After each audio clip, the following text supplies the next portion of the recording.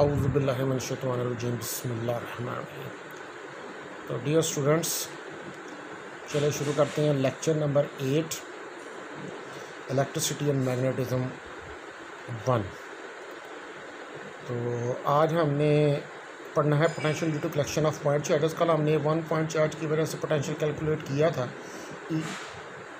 वो कितना निकला था? V of R one over four pi epsilon के ओवर आर तो अगर हमारे पास बहुत सारे पॉइंट चार्जेस हों, जैसे Q one Q two Q three up to N तक तो हर एक के लिए अलग अलग पोटेंशियल हो रहा है। जैसे v is equal to V one plus V two plus V three plus up to so on V N और v is equal to one over four pi epsilon naught Q one over R one plus Q two over R two and so on Q N over R N तो इसको हम summation की form में लिख सकते हैं। One over four pi epsilon naught N one to N Q N over R तो ये हमारे पास एक्सप्रेशन है पोटेंशियल का due to collection of point charges और ये आप इसकी फिगर देख रहे हैं, ये डिफरेंट चार्जेस हैं, जिनके डिफरेंट पोजीशन वेक्टर्स हैं R one R two R three और आर फोर और इनके लिए हमने जो पोटेंशियल लगा चूँकि यहाँ पोटेंशियल एक स्केलर क्वांटिटी है, इसलिए हमने डायरेक्शन को अकाउंट नहीं किया। एक पॉइंट पी है, इसे Q three Q one Q four Q two ये सारे चार्जेस डिफरेंट पॉइंट्स के ऊपर पड़े नेक्स्ट जो हमने चीज़ पढ़नी है, वो electric potential due to a dipole dipole के बारे में हम प्रीवियसली भी स्टडी कर चुके हैं। हमने electric field due to dipole जो है वो कैलकुलेट किया था। और उसमें मैंने बताया था कि डाईपोल क्या होता है। डाईपोल एक ऐसी कन्फिग्रेशन होती है कि जिसमें दो चार्जेस होते हैं, उनके दरमियान सेपरेशन होती है। यानी कि अगर दो चार्जेस जो हैं, उनके दरमियान स्मॉल डिस्टेंस डी हो या आर हो तो इस किस्म की कन्फिग्रेशन को हम, क्या कहते हैं? इस किस्म की कन्फिग्रेशन को हम इलेक्ट्रिक डाईपोल कहते हैं। अब सपोज़ करें हमारे पास और इसमें यह भी ज़रूरी है कि अपोजिट नेचर के चार्जेस हों, यानी कि एक प्लस हो और एक माइनस को उनके दरबार डिस्टेंस डी हो तो इसको हम क्या कहते हैं? डाइपोल अब सपोज़ करें हमारे पास दो चार्जेस प्लस के और माइनस क्यों हैं, उनको हमने किसी डिस्टेंस डी के ऊपर प्लेस किया होगा, और इसकी वजह से हमने इलेक्ट्रिक डाईपोल की वजह से पोटेंशियल को है वो कैलकुलेट करना है। अगर आप ये फिगर देखें तो इसमें चार्ज क्यू एक माइनस क्यू है, इसमें डिस्टेंस डी है। ये एक परपेंडिकुलर हमने ड्रा किया charge Q R one position vector है। चार्ज माइनस क्यू का आर टू है और उनका मिडल जो है, वो आर डिस्टेंस के ऊपर है। तो आप आप देखेंगे वी वन हमारे पास वन ओवर फोर पर एप्सलेंट के ऊपर आर वन आ जाएगा और V two one over four pi epsilon naught minus Q two minus के ऊपर टू आएगा तो उसको सिंपली हम ऐड कर सकते हैं कि उसमें डायरेक्शन तो है नहीं है तो ये आ जाएगा one over four pi epsilon naught Q one R one minus Q over R two तो Q over four pi epsilon naught one over R one minus one over R two और Q over four pi epsilon naught इसका LCM ले लेंगे तो R two minus R one R one R two आ जाएगी। तो ये आप figure देख रहे हैं, आप ये दो दो चार्जेस के पोजीशन वेक्टर दिए हुए हैं, इनके दरमियान डिस्टेंस डी है एंगल थीटा बन रहा है। ठीक है, और चार्ज प्लस क्यू से हमने परपेंडिकुलर ड्रा किया लाइन के ऊपर, जो माइनस क्यू से पॉइंट पी तक जा रही है। तो ये हमारे पास एक्सप्रेशन आ गया। अब हमने, आप देखें कि जो डी है, वो लेंथ ऑफ़ डाईपोल है, इस सफ़र की इस्तेमाल एज़ कंपेयर टू आर वो जो आर मिडल से लाइन जा रही है, उसके मुकाबले में ये बहुत स्मॉल है। तो हम ये कह सकते हैं कि R one R two R one R two जो है वो आर स्केयर के बराबर है। अप्रॉक्सीमेशन हमने इसके लिए ऊपर लगाई है। अप्रॉक्सीमेशन हमने क्या ली है कि जो डिस्टेंस डी है वो बहुत स्मॉल है। किसके मुकाबले में? एज़ कंपेयर टू आर तो फिर हम जो आर वन आर टू है, उसके ऊपर अप्रॉक्सीमेशन लगाएँ तो उसको हम आर स्केयर के बराबर ले सकते हैं। और अगर आप फिगर देखें तो फिगर से R two minus R one R two minus R one अगर आप फिगर देखें तो R two minus R one ये देखें, ये R two minus R one तो अगर ये ट्राइंगल हम देखें यहाँ पर, ये माइनस क्यू प्लस क्यू और R two minus R one वाली और ये डी डिस्टेंस है। तो ये R two minus R one हमारे पास क्या निकलेगा? ये डी कॉस थीटा के बराबर हमारे पास निकल आएगा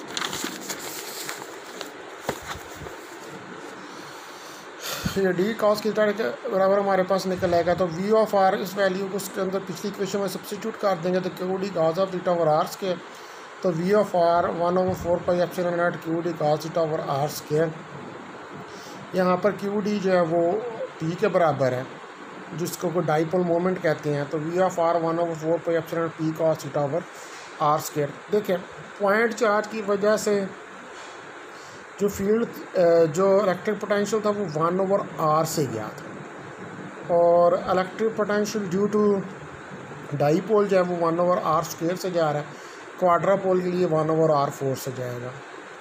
तो ये एक वेक्टर क्वांटिटी हमें पता है इलेक्ट्रिक डाईपोल मोमेंट जो है। तो इन वेक्टर फॉर्म हम इसको राइट डाउन कर सकते हैं कि V over R one over four pi epsilon P dot R R तो यूनिट वेक्टर है ना तो पी डॉट आर को ओपन करोगे तो क्या हो जाएगा? पी का आदर सीटा ही आ जाएगा आर यूनिट वेक्टर जो है वन के बराबर होगा। तो वी ऑफ़ आर जो है वन ओवर फोर पाई से नॉट पी डॉट आर और आर क्यूब के बराबर आ जाएगा। तो ये हमारे पास आर जो है ये पोजीशन वेक्टर हो जाएगा जो कि बना रहा है angle theta with dipole axis अब नेक्स्ट हमने जो है, वो स्टडी करनी है electric potential continuous charge distribution जिस तरह आपने इलेक्ट्रिक फ़ील्ड कैलकुलेट किया था कांस्टेंट चार्ज डिस्ट्रीब्यूशन की वजह से, उसी तरह हमने इलेक्ट्रिक पोटेंशियल को भी कैलकुलेट करना है कंटिन्यूस चार्ज डिस्ट्रीब्यूशन जैसे लाइन चार्ज है, जैसे वॉल्यूम चार्ज है, जैसे सरफेस चार्ज है। तो अगर हमारे पास कोई एलिमेंट डी क्यू है तो पॉइंट चार्ज है with contribution D V to the potential तो डी वी हमारे पास पोटेंशियल है one over four pi epsilon और D Q over R square आ जाएगा। और to find the potential to the entire distribution we have to integrate V D V one over four pi epsilon naught D Q over R square अब हमने जो ये electric potential है ये कांटिंग charge distribution के लिए। इसको एक तो रिंग के लिए कैलकुलेट करना है, जिस तरह हमने इलेक्ट्रिक फ़ील्ड किया था, और इसी तरह हमने इसको डिस्क के लिए कैलकुलेट करना है। तो सपोज़ करें कि हमारे पास रिंग है, जिसके ऊपर पॉजिटिव चार्ज डिस्ट्रीब्यूटेड है, उसके ऊपर हम एक चार्ज एलिमेंट डी क्यू लेते हैं, और उसका पोटेंशियल फाइंड करना चाहते हैं किसी पॉइंट पी के ऊपर। तो ये हमारे पास फिगर आप देख रहे हैं एक पॉइंट पी है उसके ऊपर पोटेंशियल फाइंड करना है। ये हाइट जेड के ऊपर है, एक चार्ज एलिमेंट हमने डी क्यू लिया है आर इसका रेडियस है। और आर डिस्टेंस है चार्ज एलिमेंट्स है। तो हमारे पास आर स्केयर यहाँ पर, अगर हम इसको देखें तो आर स्केयर हमारे पास यहाँ पर क्या आ जाएगा? ये Z square R square plus Z square के बराबर आ जाएगा। तो ये आर स्केयर को हम लिखेंगे, इसका अंडर रूट ले लेंगे तो डी वी आ जाएगा one over four pi epsilon naught उधर आर की जगह वैल्यू रख दें। तो one over four pi epsilon naught one over R square Z square और डी क्यू का इंटीग्रल क्यू का इंटीग्रल लेंगे तो क्यू? का कोई चार्ज उसके ऊपर कितना डिस्ट्रीब्यूटेड है, उसके ऊपर क्यू चार्ज ही डिस्ट्रीब्यूटेड है। तो ये हमारे पास इलेक्ट्रिक पोटेंशियल निकला है due to charge ring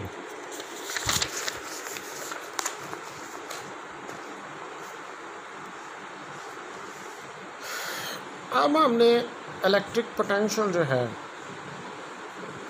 next में वो कैलकुलेट करना है due to a charge disc कि डिस्क की वजह से हमारे पास इलेक्ट्रिक पोटेंशियल क्या होता है। अब सपोज़ करें कि ये हमारे पास डिस्क है, जिसका रेडियस आर है और वाई रेडियस है स्मॉल डिस्क का और डी वाई जो है इसकी विड्थ है।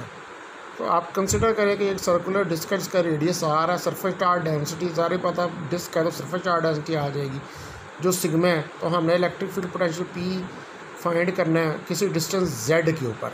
डिस्टेंस जेड है वाई से लेकर हमारे पास जो पी तक है, वो डिस्टेंस जेड है। फ्रॉम सर्कुलर चाप of a circular strip of radius Y and with D Y जिसका रेडियस वाई और विथ डी वाई तो चार जो ये कैरी कर रही है डिस्क वो कितना है? D Q sigma D A D A क्या है? एरिया ऑफ़ द स्ट्रिप एक स्ट्रिप जो है। या एक डिस्क आएगा तो फुल डिस्क जो है उसको मुख्तलिफ़ डिस्कों में हमने डिवाइड कर दिया। तो एरिया क्या है? डी वाई उसकी विथ है? वाई उसका रेडियस है। तो सरकमफ्रेंस कितना है? टू पाई आर होता है। तो डी हो जाएगा two pi Y D Y तो डी क्यों हो जाएगा sigma two pi Y D Y अब since all parts of this charge element are at the same distance R क्योंकि सेम डिस्टेंस आर के ऊपर है तो आर की वैल्यू निकाल लें पैथागोरम थ्योरम से तो वो Y square plus Z square आ जाएगी। और डी भी हमें पता है कि one over four pi epsilon और डी को ओवर आर है। इसमें आर की वैल्यू रखें। डी क्यू की रखें। तो ये आ जाएगा one over four pi epsilon naught two sigma pi Y D Y Y square plus Z square तो अगर हमने चूँकि इस डिस्क को मुख्तलिफ़ नंबर ऑफ़ स्ट्रिप्स के अंदर डिवाइड किया हुआ है तो तमाम स्ट्रिप्स की वजह से जो हमारे पास पोटेंशियल है, उसके लिए हमें फिर इसका इंटीग्रल लेना पड़ेगा। और टोटल उसका रेडियस आर है तो ज़ीरो से आर हमें इसका इंटीग्रल लेना पड़ेगा। तो two pi one over four pi F C two pi Y D Y sigma Y square plus Z square इसकी इंटीग्रेशन करेंगे Y square plus Z one one by two two Y D Y sigma pi over four pi F naught को बाहर निकाल लेंगे तो Y square plus Z square minus one by two plus one minus one by two plus one zero to R आ जाएगा हमारे पास। इसको further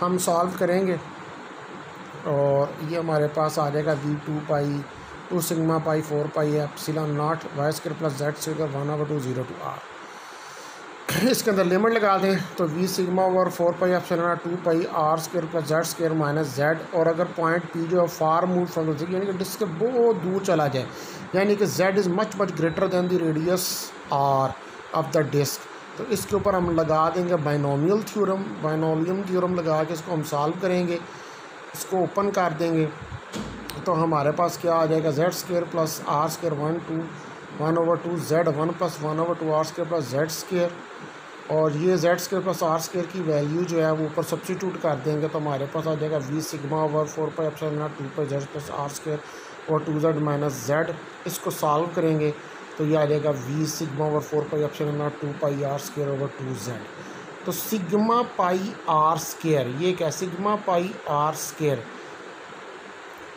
pi R square area तो ये ये surface charge sigma surface charge density है तो sigma Q over pi R square तो Q हमारे पास सिग्मा पाई आर स्केयर क्योंकि पाई आर स्केयर जो एरिया ऑफ़ द डिस्ट है तो वी हमारे पास one over four pi epsilon naught Q over over four pi epsilon one over Z के बराबर जाएगा तो डियर आज ये जो लेक्चर नंबर एट है, इसके अंदर ये एक ही वीडियो होगी आज तो ये भी चैप्टर इंशाल्लाह कल ख़त्म हो जाएगा ये भी।